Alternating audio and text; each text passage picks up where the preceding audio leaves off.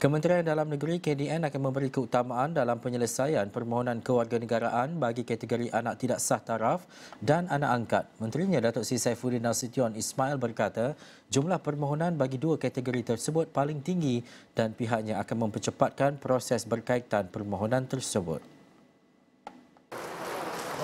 Saifuddin memberitahu perkara itu boleh diselesaikan menggunakan peruntukan dalam undang-undang iaitu perkara 15A Perlembagaan Persekutuan.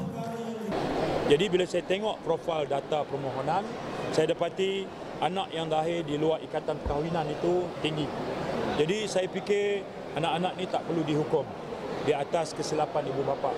Kerana itu arahan saya kepada pegawai di KDN adalah uh, proses segera.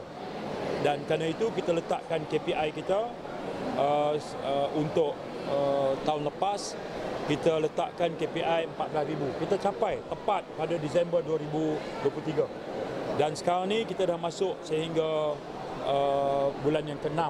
Okay? Dan angka itu sudah pun keseluruhan dah mencecah lebih 15,000 sebenarnya. Jadi keutamaan kita apa dia? Kanak-kanak yang lahir di luar ikatan perkahwinan. Kita panggil sebagai anak tidak sah taraf. Yang kedua adalah anak angkat.